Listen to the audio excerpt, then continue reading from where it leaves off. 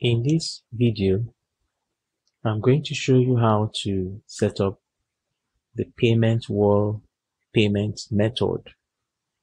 So to set up Paymentwall payment method, we navigate to the store management section and select settings. In the settings page, we select payments.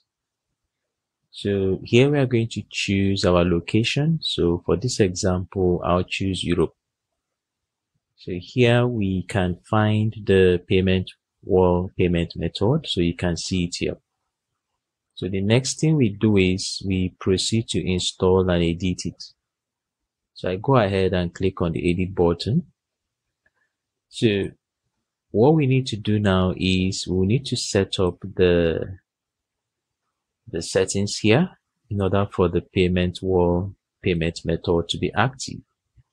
So in order for us to get the project key, secret key and widget code, we need to have a Paymentwall merchant account. So I already have a merchant account. So I go ahead and open it here. So this is my merchant account. So for us to get the information we need here, I'll go ahead and create a new project. So I come here and then click on the create new project button here.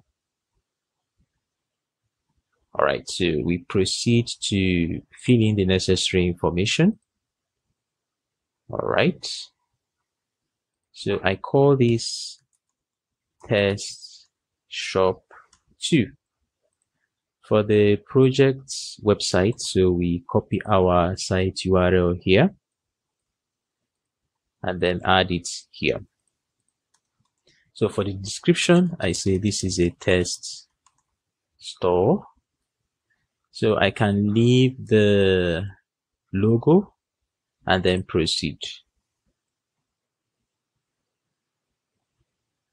All right, so we go ahead and select the um, tick the necessary um, confirmation here and proceed. So we can, um, so we go ahead and, um, and finish the remaining um, options here. So for this section, we can, um, we can go ahead and tick this, say self-managed and proceed. So here, this is the final section here. So we just omit that and then it will take us to the final step, which will now enable us to save. So I go ahead and save this. I also save this as well. All right. So for this section i just i can go ahead and close. So we save again and then close it. So now that we have filled the initial um, setup as this is only a demo normally you are meant to activate the project if you want to receive live payment. So but since this is a demo we'll leave it as it is. So i proceed to set up the project settings. So I go ahead and click on the project settings here. So this will open the project settings page. So what we'll do here is we go ahead and set up the necessary parameters so that this would work with our store. So we leave this as digital good. Here we enable the widget signature as required. So since this is a demo and we are going to be doing um, test transactions, we enable the evaluation mode. So we can leave this as disabled. So for the integration module, we select open cards here. For the pingback type, we choose URL and then we add the pingback URL. So the pingback URL, I've already um, written it down here. This will be available in the setup page here when you are setting it up. So, but for this example, I copy this and add it here. So I replace this with the store URL. So we copy the store URL and add it here. The next thing we do, I go ahead and add my notification email. And then we leave the project logo. You can add it if you want. So I go ahead and save. All right. So now that we've made the initial settings for the project, you can see that we have our project key and secret key here. So we copy it. We paste the project key here.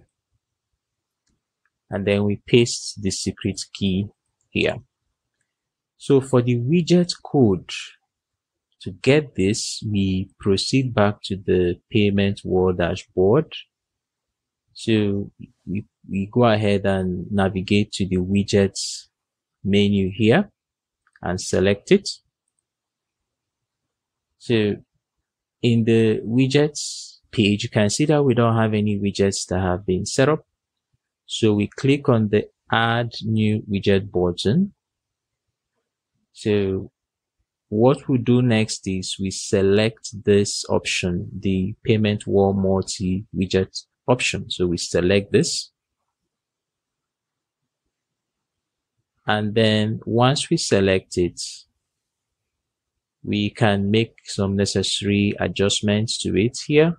So, so we can type the preferred payment method we want. So let's say, can type in, um, or let me just leave this as it is. I won't make any further adjustments for now. So this can, you can easily change this later. So let's add this, say bank card and submit.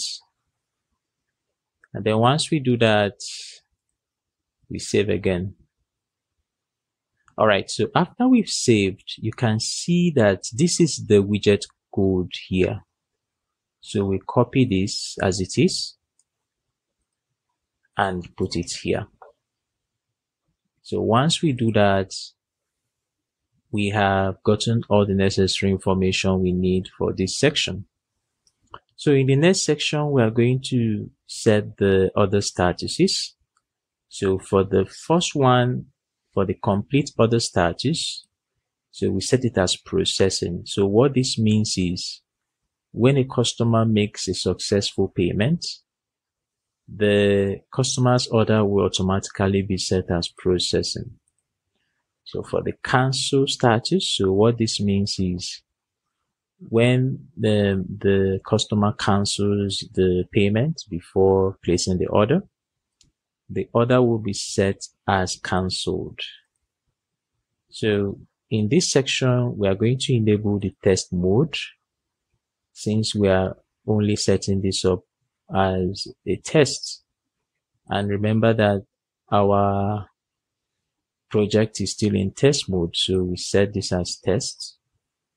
Here we can enable the delivery API. This is used by Paymentwall to track your customer's order and is necessary if you want Paymentwall to be able to um, process disputes and refunds.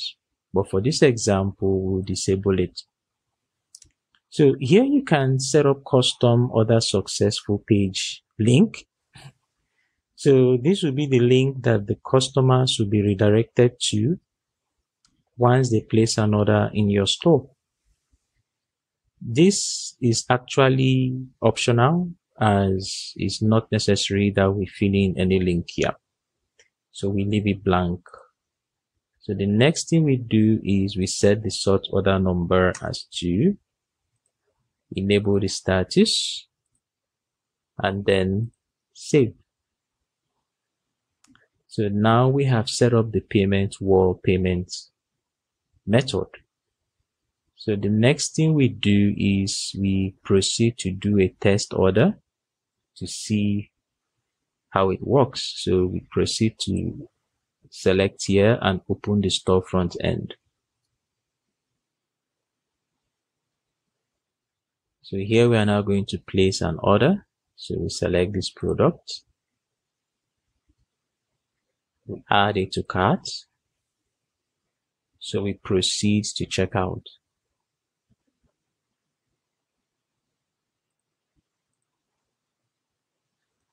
All right, so we log in.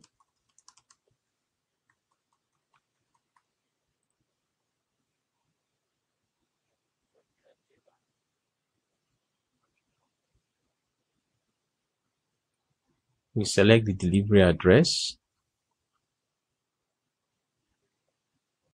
So we select the delivery method. And then in the payment method section, you can see that a new option, which is pay with Paymentwall has been added.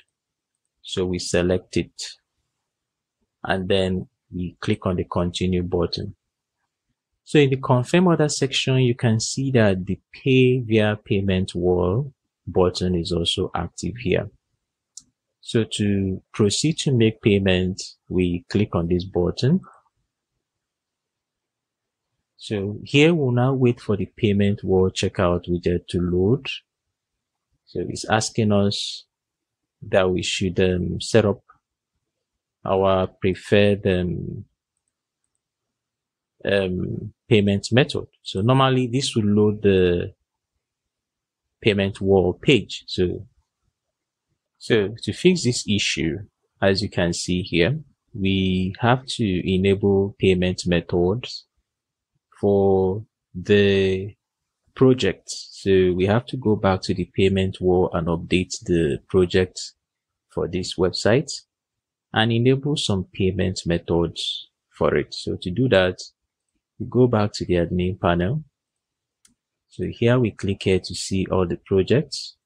So this is the one that we set up for our store. So we go ahead and click on the payment method option. So here we'll now open the payment methods page. So we wait for the page to load. So once the page loads, we can proceed to enable as many payment methods here. So we enable them.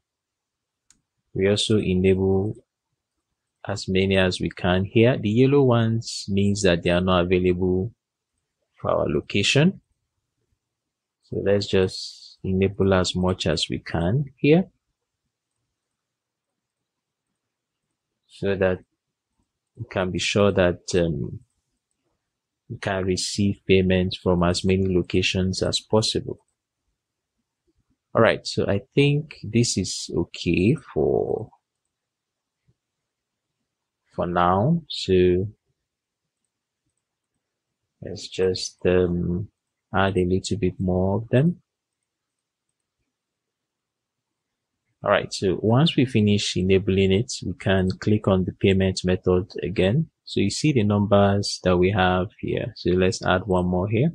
So as we add it, you see that it increases here. So you see, so let's say we have added this ones for now. So after adding it, we go back to the store front end. So we refresh the page again. So we are going to add a new order. So to do that, we select the product again, add it to cart, and proceed to checkout. All right, so we select the delivery address, proceed. Here we select the delivery method, All right, so in the payment method, we go ahead and choose Paymentwall again and then proceed. So in the confirm order section, we now click on the pay via payment wall button. So this time around, you see that it would work. So now you see that it's working because we've enabled the payment uh, method that supports the this currency. So we can now proceed to place the order and then finish the payment. So in this video, I've shown you how to set up payment wall payment method. Thank you for watching.